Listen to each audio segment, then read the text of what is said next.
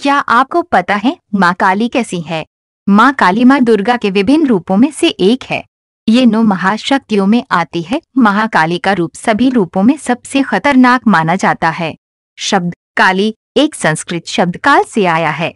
माँ काली भगवान शिव पर खड़ी रहती है। माँ काली ऐसी देवी है जो अपने कोर रूप के बावजूद अपने भक्तों से प्यार का संबंध बनाए रखती है।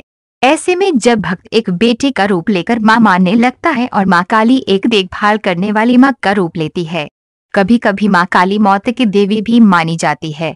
पर दूसरे शब्दों में माँ काली बुराइयों और अहंकार की मौत लाती है। हिंदू शास्त्रों में वह केवल अभिमानी राक्षसों को मारने के लिए जानी जाती है, लेकिन काली भी माँ का एक रूप मानी जाती है जो अपने बच्चों को सताने वाली बुराइयों का अंत करने वाली है।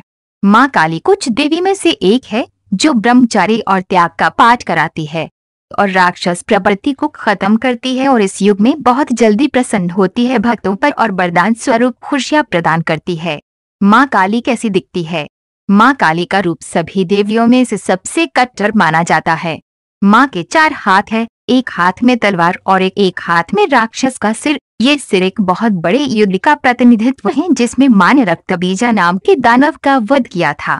बाकी के दो हाथ भक्तों को आशीर्वाद देने के लिए है और वह कहती है, डरो मत, मैं हमेशा अपने भक्तों की रक्षा करती हूँ और उनके पास कान की बाली के लिए दो मृत सिर है, गर्दन पर बावन खोपड़ी का एक हार और दानव के हाथ से बना एक स्कर्ट है।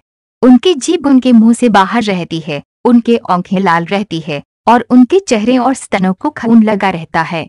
कुछ चित्रों में वह एक पैर के साथ जांग पे ठहरती है और दूसरा पैर अपने पति शिव की छाती पर रखती है। भगवान शिव जो निराकार, जागरूकता, सच्चिदानंद है और माँ काली सदा से शुद्ध का प्रतिनिधित्व करती है।